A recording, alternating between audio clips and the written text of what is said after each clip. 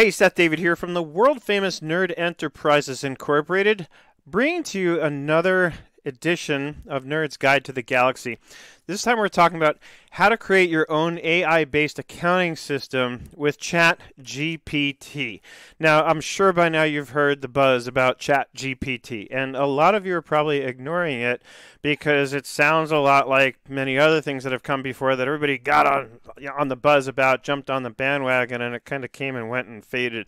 Uh, this is not one of those things. ChatGPT, I can assure you, uh, is here to stay. Uh, Google is already working on a competing product called LaMDA. From what I've read, it's not available to everyone yet. But as soon as I saw ChatGPT and I saw the potential for how this is a better way to search for things than Google is to search for information on things, um, that uh, Google would have to be jumping on this bandwagon. So I'm just keeping my eyes out because you know Google definitely is going to want to compete with this. Uh, there are rumors and articles I've read that Microsoft is looking to purchase Chat GPT. They've already got ridiculous valuations, like ten billion dollars or or more, something something like that. Uh, Chat GPT, by the way, is created by a company called OpenAI.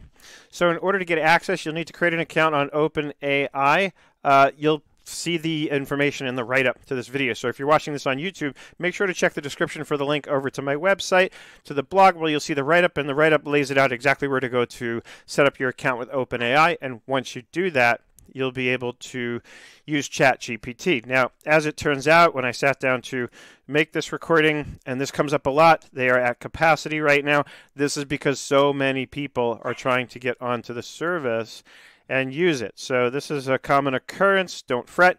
Just uh, you know, keep checking back and hitting refresh. Uh, I'm usually able to get in at some point during the day, uh, and they're making improvements constantly. Like initially, it wouldn't remember any of your chats that you've had. And so you'll see I took screenshots to be sure I'd be able to show you what I want to show you here.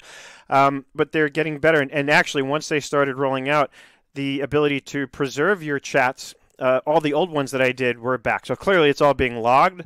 They just are working on you know how to deliver that. And again, with all this uh, traffic, it's uh, it's taxing their capacity, and I'm sure taxing their ability to add and deliver additional features. Right.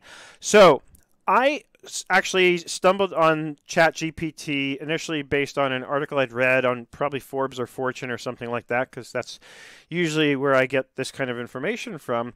And then I stumbled on this tweet from Jason Staats on Twitter. A lot of you know him at Jason Staats CPA. Uh, and so he he had written this. So I trained ChatGPT to become an accounting system, and I showed my wife a non-accountant. And she literally shrieked. Here's what I did, right?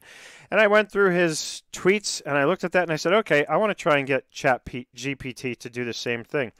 And at first, I wasn't having any luck, right? So I was. I was just I didn't really look closely at what Jason had done. I just kind of got the gist of what he was doing, and I went and tried to do it on my own. And uh, I kept getting the same kind of canned response saying, you know, we can't do that right? So then I went back to Jason's thread, and then eventually I actually reached out to Jason. I replied to him and said, "Hey," and I showed him this very screenshot, and I said, "I'm not having any luck. Like, what did you do?" And he gave me just the exact language he used to kick the thing off, and then it worked perfectly, right? And so you can see in my screenshot here that uh, uh, I started making it happen. So, and it was just, look, this is not going to replace QuickBooks Online yet, but I certainly hope that my friends at Intuit are watching this and seeing and thinking about how can QuickBooks Online be built out to do something like this. Because the idea here with ChatGPT is I can ask it things in very natural simple language and ChatGPT just goes and puts it together right? Now you have to be you want to be as specific as you can but the point is I don't necessarily even need to know debits and credits right? So I, I wrote up here, you're going to prepare the accounting for a company named Bot Inc. With each prompt, I would like you to prepare me a balance sheet in table format and an income statement in table format. We'll start with the following opening balance, Wells Fargo checking 100,000, shareholder contributions 100,000. So I kind of gave it the debit and the credit without calling it a debit and a credit, right? And it, it gives it to me here. Okay. Now you can read, you can look at the screenshots. I don't want to waste 20 minutes of video reading what I did to you. I just want you to see this part, at least in the video, to prompt you to go. And if you, again, click over to the write up, you'll have links to this so you can look at this very close up. Right. I've got this sort of stored in Notion, as you can see. And you'll see how I evolved the thing as I went on. Right. I'll just kind of scroll quickly through it. And obviously, I didn't love this format. So eventually I asked it to change the format. And so one attempt and I got this and I was like, nope, not what I'm looking for. And finally I I, I did it like this. Again, the more specific you can be, the better results you'll get. So I said, show the balance sheet table with columns as follows account type, comma, account, comma, amount, right? And boom, all of a sudden now I've got something that looks a bit more like a balance sheet, right? And I kept going and kept adding stuff in, okay? And then the one thing I want to show you that I did you know that I want to make sure you're encouraged to go look for this when you're kind of scrolling through this yourself is eventually after adding some transactions and having it record them and having some success with that um, first of all I complimented it and I love how it just responds to that right? Thanks for the kind words. Then eventually what I wanted to do was I wanted it to kind of write up a summary based on what it sees. So this is the part that really blows me away. Like everything up until now is kind of like, okay, cool, I get it. It's you know any kind of computer technology. Um, it seems like would be easy enough to get it to be able to you know organize the numbers and things that we're doing. It's still pretty amazing what ChatGPT was able to do here. But wait till you see the um, the write up that it had me do that I had it do. So here it is. I said, write me a summary of how Bot Inc. is performing based on the information above. So it remembers the history of that particular chat. Um, based on the information provided, it appears that Bot Inc. is performing well. The company has not yet incurred any expenses and has generated $10,000 in revenue from the services provided to a customer. The company has 100,000 in shareholder contribution and has used some of this cash to purchase computer equipment for $5,000, leaving a balance of $95,000 in its Wells Fargo checking account. The company has also recorded the amount from the services provided to the customer's accounts receivable, which is an asset. Overall, the company's financial position is strong with no liabilities and a healthy balance of assets and equity. I didn't didn't tell it any of this. I just gave it the transactions and gave it the numbers and asked it to prepare the um, presentation, and uh, and that's what it came up with. Okay. Later on, I asked it to do it again, and I also corrected it. There was one subtotal that was incorrect, so it corrects it. It wasn't including the 10,000 of accounts receivable for some reason. And somebody emailed me about this because I had sent something out about this in an email that I sent out asking if I knew why it made that mistake. I don't know. You know, I don't write the code. Um, I have no idea why, but it was easy to correct. Once I told it to correct it, it seemed to work. Although here we're back to the 10,000 being left out for some reason. So I think again I had to, uh, you know, kind of evolve it to where it would see here. Now here we're back to it's accurate. It's including the whole 10,000, right?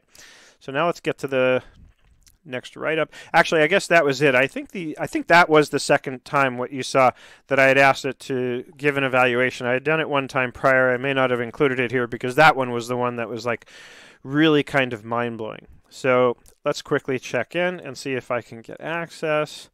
Um, nope, it looks like not. But here's the bottom line. I, hopefully, this video is enough to get you inspired to check it out and play with it.